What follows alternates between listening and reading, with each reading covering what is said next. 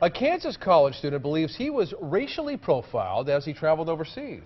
He calls it anti-Semitism. KMBC 9 Scott McDonald is live with the troubling encounter with customs. Scott? That's right. Chip Cantor's trip started here, but when he got to the UK, he was thrown in a cell, turned around, and sent back here to Kansas City. He was given no explanation as to why, leading him to believe the only reason he was sent back was because he's Jewish. We're going everywhere we can think of with this story in terms of At 23 years old, Chip Cantor had his trip to the UK planned for a long time. A few months interning and also raising money for a child in need. All was well until he hit the customs counter at Heathrow. She started flipping through my passport. She got to my two pages full of Israeli visas because I spent my freshman year studying abroad in Israel.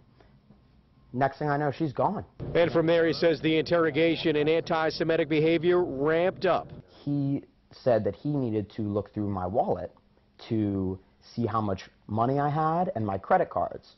And he made a comment that, I bet you'll have a lot of money in your wallet. And it was then that I put one plus one together and said, this reeks of anti-Semitism. we appreciate your getting the word out. Chip's father tried unsuccessfully to talk reason into the security officials at the airport, who were not government workers but private contractors. He says he got hung up on. At this point, he walked over to Chip and said, your dad just hung up the phone on me. Typical for an American. For close to nine hours, he was held in a cell, denied requests for food or water. Trying to figure out why he's being held for no apparent reason, he pinpoints prejudice. And his dad, Chuck Cantor, wants answers. It's very, very troublesome, I think, as, as an American citizen, to have my son treated this way.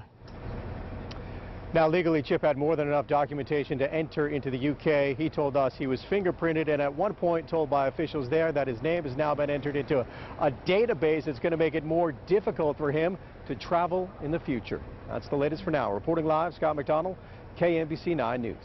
All right, thank you, Scott. Now, Chip and his father have reached out to local representatives and congressmen to get answers from the UK government and hopefully an apology.